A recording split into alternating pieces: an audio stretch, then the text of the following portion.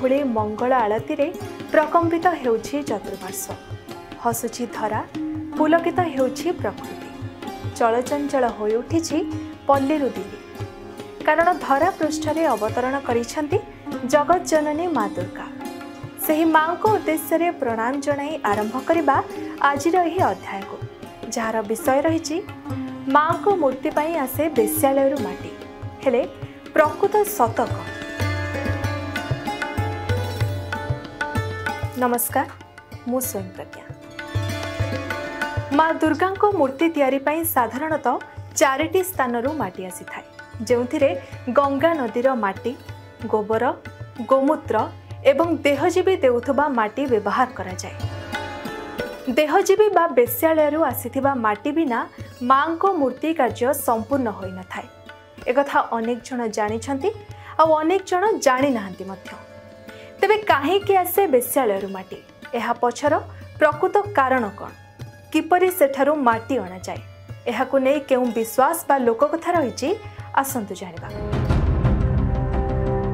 କଲିକତାରେ ସୋନାଗାଛି ନାମକ ଏକ ସ୍ଥାନ ଅଛି ଯାହା ଗଣିକାପଡ଼ା ବା ବେଶ୍ୟାଳୟ ନାମରେ ସେଠାରେ ବେଶ୍ ପରିଚିତ। ସେଠାରେ ମାଟି ଆସିଲେ ହିଁ କଲିକତାରେ ମାଙ୍କ ମୂର୍ତ୍ତି ତିଆରି ହୋଇଥାଏ। ବିଶ୍ୱାସ ରହିଛି ବେଶ୍ୟାଳୟର ମାଟି ସବୁଠୁ ପବିତ୍ର ହୋଇଥାଏ। ଯେତେବେଳେ ଜଣେ ବ୍ୟକ୍ତି ବେଶ୍ୟାଳୟକୁ ଯାଇଥାଏ ସେହି ଦ୍ୱାରବନ୍ଧରେ ହିଁ ସେ ତାର ସମସ୍ତ ପୁଣ୍ୟ ତାର ଧର୍ମ ସେଠାରେ ଛାଡ଼ି ଦେଇଥାଏ।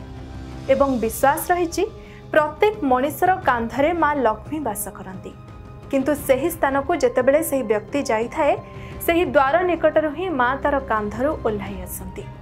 ଯେଉଁଥିପାଇଁ ସେହି ସ୍ଥାନର ମାଟି ଅତ୍ୟନ୍ତ ପବିତ୍ର ହୋଇଥାଏ। ଏହାକୁ ପୁଣ୍ୟ ମାଟି ବୋଲି କୁହାଯାଏ। ଏହି ମାଟିକୁ ଆଣିବା ପାଇଁ କାରିଗରମାନେ ବେଶ୍ୟାଳୟଙ୍କ ଦ୍ୱାର ପାଖରେ ଭିକ୍ଷାବୃତ୍ତି କରନ୍ତି।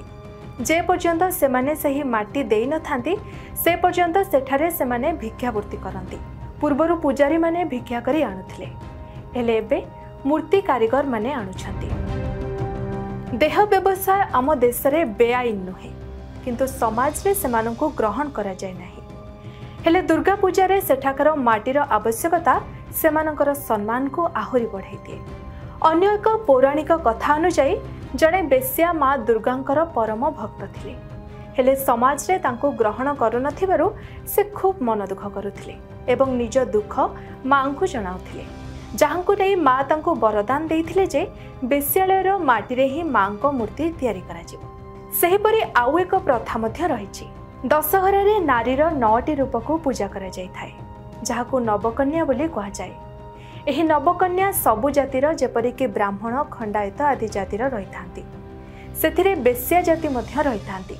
ଏହି ନଅ କନ୍ୟା ମାଙ୍କ ନଅ ହାତର ପ୍ରତୀକ ବୋଲି କହି ମାଙ୍କୁ ପୂଜା କରାଯାଏ। ଯେଉଁ କାରଣରୁ ବେଶ୍ୟା ସମ୍ପ୍ରଦାୟକୁ ସମ୍ମାନ ମିଳିଥାଏ। ଏହିସବୁ କାରଣରୁ ହିଁ ମା ଜଗତଜନନୀ ଦୁର୍ଗାଙ୍କ ମୂର୍ତ୍ତି ତିଆରି ପାଇଁ ବେଶ୍ୟାଳୟରୁ ମାଟି ଆସିଥାଏ। ଆଜିର ଅଧ୍ୟାୟକୁ ଏଇଠି ରଖୁଛି। ନମସ୍କାର। जदि आपंक आम भिडी भल लगा तेब आम चेल्क लाइक सेयार और सब्सक्राइब करने को जमा भी भूलु नहीं